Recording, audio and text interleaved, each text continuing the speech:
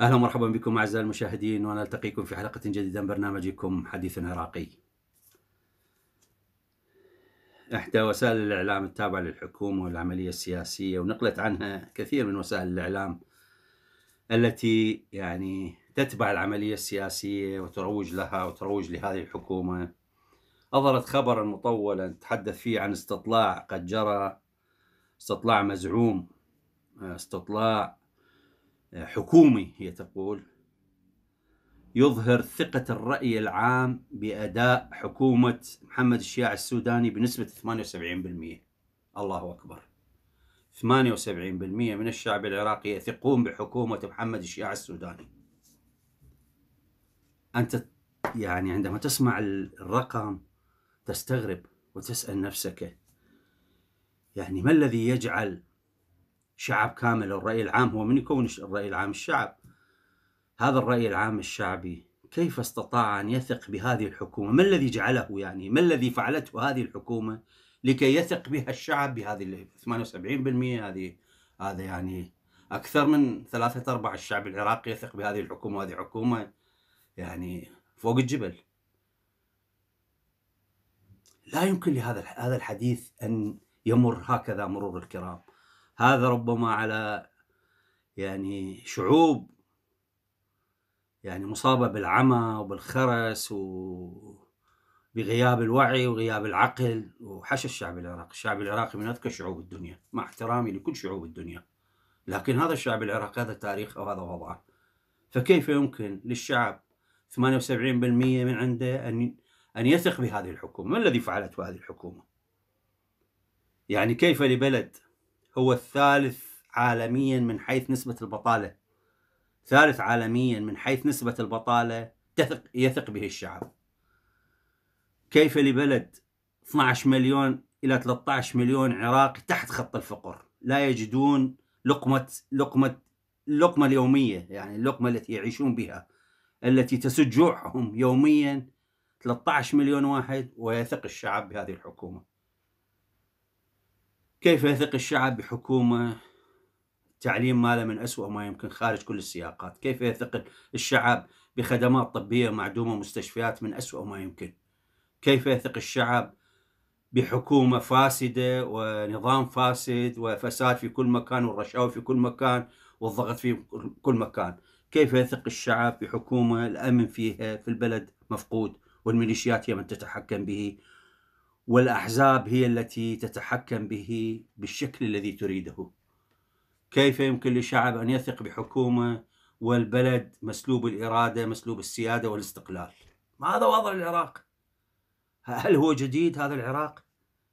وتحدثنا سابقا كان هناك إحصائية دولية يمكن قبل كم كم حلقة كنا نتحدث قبل كم أسبوع عن إحصائية دولية تتحدث عن الشعوب التي تثق بحكوماتها وخليها تسلسل من واحد إلى كل. كل كل الدول واضعين معيار معيار لماذا هذه الدول تثق بشعوبها يعني واضعين يجب أن تكون دولة مستقلة آه، مستقرة. عملة العملة العملة آه، العملة النقدية عملة قوية. مشروعات قادرة لديها مشروعات قادرة على التحقق في الحاضر والمستقبل. آه، صدق في التعامل مع الشعب وعود حقيقية وتنفذ. خدمات مقدمة أمن متوفر تعليم في أعلى ما يمكن. خدمات صحية مقدمة خدمات اجتماعية مقدمة رواتب جيدة. عدالة آه، مساواة احترام حقوق الإنسان هذا كله جزء من المعايير. إذا ما وضعنا هذه المعايير على كل الحكومات التي جاءت من عام 2003 لحد لحد الآن هاي 20 سنة مضت لا أحد يتحدث لنا عن نظام جمهوري سابق نظام ملكي سابق اتركونا من عنده 20 سنة مضت. العراق في كارثة كبيرة.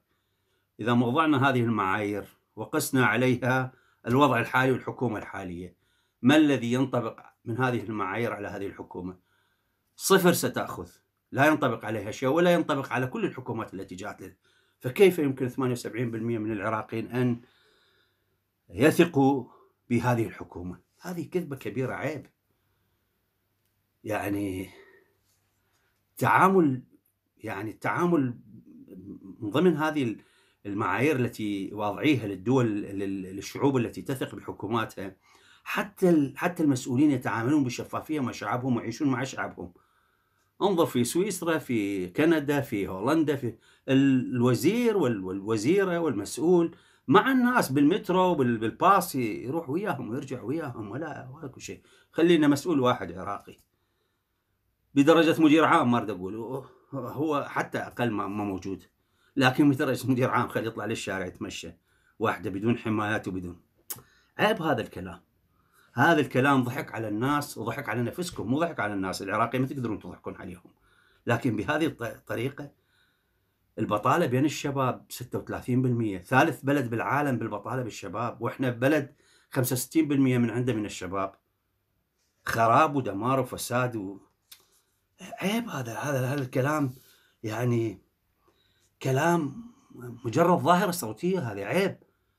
يعني عليهم ان يستحوا من هذا الكلام.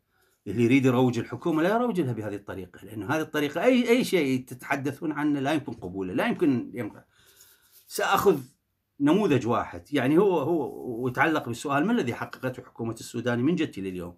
محمد الشيع السوداني ما الذي حققه؟ لماذا يقولون هو مختلف؟ ما الذي يختلف به؟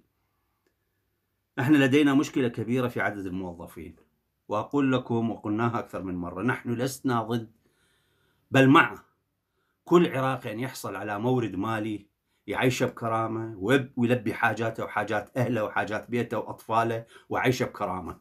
نحن, نحن, نحن مع هذا مئة بالمئة. ولا نقبل العراقي أن لا يحصل على مورد.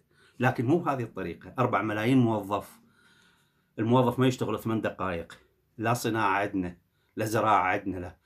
وظائف وترهل كبير. ويجون الآن حتى يسكتون الشعب يعينوا لي مليون واحد جديد. خمس ملايين موظف عندنا. هذا كله يرهق الموازنة. في بلد موازناته 100 مليار. حتى يعطون 60 70 مليار للناس ولا 40 مليار تنباك كلها منهم. هذا وهذا هذا إنجاز. هل يعتبر إنجاز هذا؟ الناس من تتظاهر وتدور وظيفة. ما قايلين يروحون يقعدون جوا التبريد وبوظائف. لا. يريدون يشتغلون. يريدون يحققون شيء لهذا البلد.